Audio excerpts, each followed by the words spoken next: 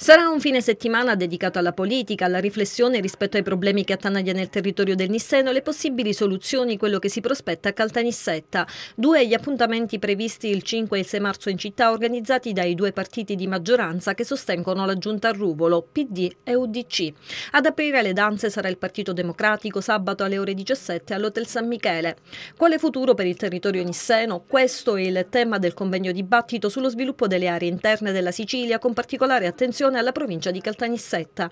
Una domanda ormai obsoleta alla quale si cercherà di dare una risposta che non sia individuale o ideologica, ma che risponda alle esigenze, ai bisogni, alle prospettive ai progetti dei territori, dei loro amministratori e dei cittadini.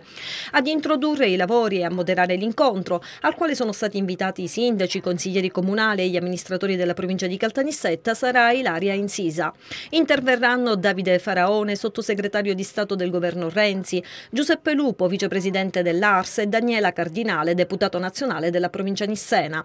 A rappresentare le istanze del territorio, tra gli altri Giuseppe Gallè, segretario provinciale del PD di Caltanissetta, Angelo Fasulo del PD di Gela e Totuccio Scannella, segretario del PD di Mussomeli.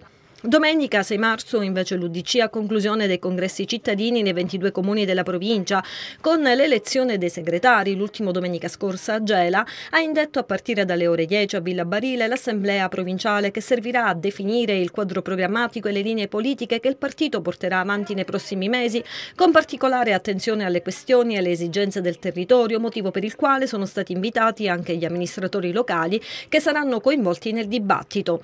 Caltanissetta sarà la quinta tappa dell'Assemblea provinciale dell'UDC in tutta la Sicilia. A introdurre i lavori sarà Angelo Bellina, segretario provinciale dell'UDC. Un'occasione per riflettere anche sull'attuale momento politico nazionale e regionale grazie alla presenza di Giampiero Dalia, presidente nazionale dell'UDC, e degli assessori regionali alla famiglia, politiche sociali e lavoro Gianluca Miccichea, alle infrastrutture e mobilità Giovanni Pistorio. Tra gli altri interventi programmati anche quello di Margherita La Rocca, presidente regionale dell'UDC, e Mimmo Turano, capogruppo dell'UDC all'Ars.